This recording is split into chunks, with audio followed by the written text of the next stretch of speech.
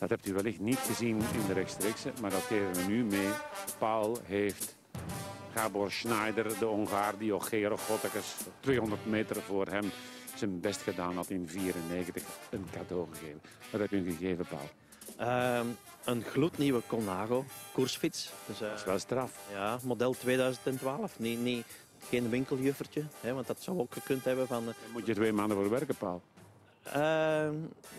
Dan neem ik er dan maar bij. Dus, eh, maar ik, ik heb toch deugd gehad van het hele verhaal. Dus eh, Is dat niet een beetje veel voor een klein grammetje in een WK dat jij vooral zelf verdiend hebt? Ehm, dat is erover, dus, maar het is ook eh, omdat het zo'n mooi verhaal geworden is. Hè. Het, is het is geen fabeltje. Hè. Dit is wel echt gebeurd ooit dat die jongen van zo ver naar België kwam afgezakt. En je, en je, en weet Die wat, werd gedubbeld, hè, Paul? ja, maar weet je wat het fijne van het verhaal is? Want dat heeft nog nooit iemand verteld en ik ga dat nu doen. Hè. Dat jongetje hè, dat heeft een tik gekregen van Richard Groenendaal.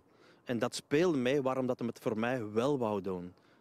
In de race, net ervoor. En, en er is ook een beeld nooit getoond geweest. Hè. Dus ik heb hem dus mooi op zijn kontje getikt en, en, en mijn duimpje omhoog gestoken in een wereldkampioenschap. En dat is hem enorm bijgebleven, want hij was hier met een tolk.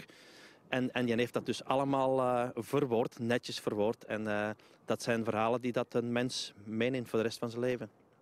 Ga je nu met hem nog een feestje bouwen of is hij al, is hij al terug met zijn fiets naar Hongarije?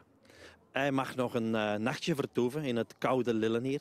En vanaf morgen terug de vlieger op, terug naar zijn land en terug met de voeten op de grond. Ik onthoud vooral dat de dankbaarheid van Paul, hoe klein de gift ook was, grenzeloos is. De gift in dat WK.